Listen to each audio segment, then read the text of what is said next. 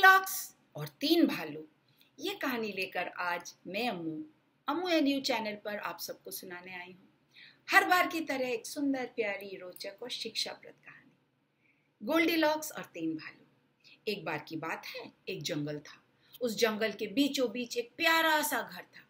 उस घर में तीन भालू रहते थे। पापा भालू, मम्मा भालू और नन्हा भालू। एक दिन सुबह मम्मा भालू ने बड़ा भर, बर्तन भरकर सूप बनाया। सूप बहुत पौष्टिक होता है बच्चों आप लोग पिया करो। लेकिन आह सूप बहुत गर्म था। जब तक सूप ठंडा हो रहा है चलो हम लोग घूम कर आते हैं थोड़ी ताजी हवा का सेवन करते हैं पापा भालू ने सुझाव दिया। अब खुली हवा में घूमना भी बड़ा ही स्वास्थ्यवर्धक होता है। इसी बीच एक नन्ही लड़की टहलते टहलते तीन भालुओं के घर पहुँची। उसके बाल इतने सुनहरे और घुंघराले थे कि सब लोग उसे गोल्डी लॉक्स यानी सुनहरे बालों वाली कहकर बुलाते थे। उसने खिड़की से झांका, उस घर में कोई न था।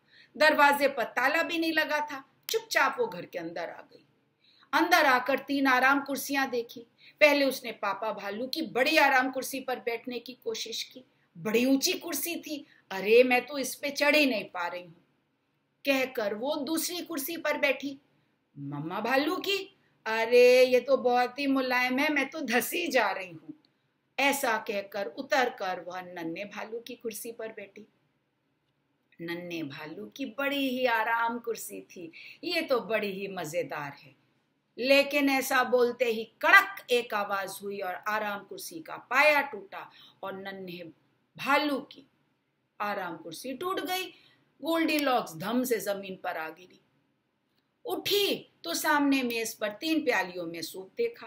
पहले उसने पापा भालू का सूप चखा। छी, ये तो बहुत नमकीन है गोल्डी लॉक्स बोली फिर उसने मम्मा भालू का सूप चखा। छी, ये तो बहुत मीठा है, मैं नहीं पीऊँगी इसे। अंत में उसने नन्हे भालू का सूप चखा। वाह, क्या स्वादिष्ट, बिल्कुल मेरी पसंद वाला। एक सांस में पूरा सूप गटक गई। पेट भर गया और फिर तीनों भालू के कमरे में पहुँची। जाकर वहाँ पर देखा तीन बिस्तर हैं। बड़े बिस्तर पर लेटने की कोशिश की, पापा भालू का बिस्तर था। ये तो बहुत ऊँचा है, मैं चढ़ नहीं पा रही हूँ। फिर वो मम्मा भालू के बिस्तर पर लेटी। अरे, ये तो बहुत ही बेकार और सख्त है। फिर वो पहुँची छोटे से प्यारे से नन्हे भालू के नन्हे बिस्तर पर। वाह, ये तो कितना आरामदायक, नरम और गुदगुदा है। लेटते ही उसकी आँख लग गई। थकी थी, सूप पीकर पेट भर गया। गुदगुदे बिस्तर पर नींद आ गई। लौटने पर तीनों भालुओं ने देखा, उनके सूप को ज़रूर किसी ने छुआ था। किसी ने मेरा सूप चखा है। पापा भालू ज़ोर से गर से, मेरा सूप भी किसी ने चखा है। मम्मा भालू चिल्लाई, मेरा सूप तो किसी ने पूरा पी लिया। फिर उन्होंने आराम कुर्सियों को देखा। कोई मेरी आराम कुर्सी पर बैठा। पापा भालू चिल्लाए, मेरी आराम कुर्सी पर भी कोई बैठा। मम्मा भालू चिल्लाई, मेरी आराम कुर्सी तो किसी ने तोड़ ही दी। नन्हे भालू ने रोते हुए कहा, तीनों अपने कमरे में पहुँचे तो देखा उनके बिस्तर को भी किसी ने छुआ था। कोई मेरे बिस्तर पर लेटना चाहता था? पापा भालू बोले, कोई मेरे बिस्तर पर भी लेटने की कोशिश कर रहा था। मम्मा भालू चिल्लाई नन्हे भालू ने कहा, अरे कोई तो मेरे बिस्तर पर लेटा है। आकर देखो, ये नन्ही लड़की कौन है? नन्हे भालू की नन्ही सी आवाज़ सुनकर गोल्डी लॉक्स जाग गई। तीन तीन भालुओं को अपनी ओर घूरते देखकर वो इतना डर गई कि चीख मारकर बिस्तर से कूदी, सीधे खिड़की से रास्त, के रास्ते छलांग लगाकर।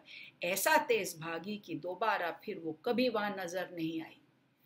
तीनों भालू चिल्लाते रह गए। रुको रुको, हम लोग कोई नुकसान नहीं करेंगे। तुम कौन हो? लेकिन गोल्ड लॉक्स ने तो पीछे पलट कर देखा ही नहीं। कहानी कैसी लगी? अच्छी ना? तो कमेंट सेक्शन में लिख कर बताइए। लाइक शेयर सब्सक्राइब करिए बेल आइकन को हिट करिए और अमू के आने का फिर इंतज़ार करिए। कहानी सुनने के लिए धन्यवाद। और अब अमू कहती है, टाटा।